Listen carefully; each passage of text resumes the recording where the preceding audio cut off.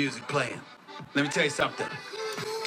This guy, I don't know their name. I'm being, I, I don't mean to be rude or whatever. I'm rolling, running around. I'm multitasking. I got brain lock. It escapes me.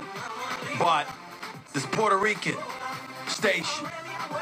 All right, they always at the Knicks game. Very, very nice guy comes up to me, tells me I'm loved in San Juan, Puerto Rico. You know. No, they love Stephen and A. asked there. me and asked me to do the interview. So he's interviewed me a couple of times.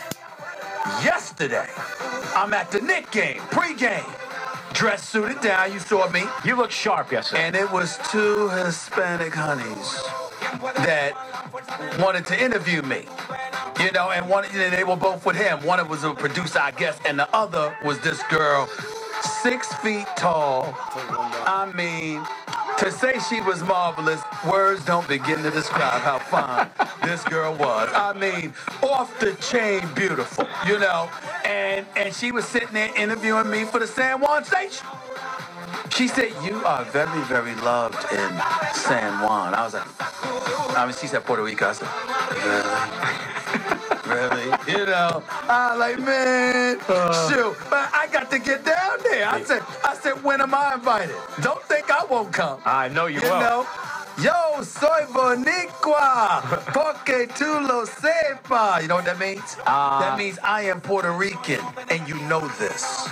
Is this something you say? No, it was a chant that they did at the pre-Olympic qualifying basketball tournament in 2000. And I had to go there to cover it. The greatest assignment of my professional career. The next I one will was be there in for San two Juan. weeks. I was there for two weeks.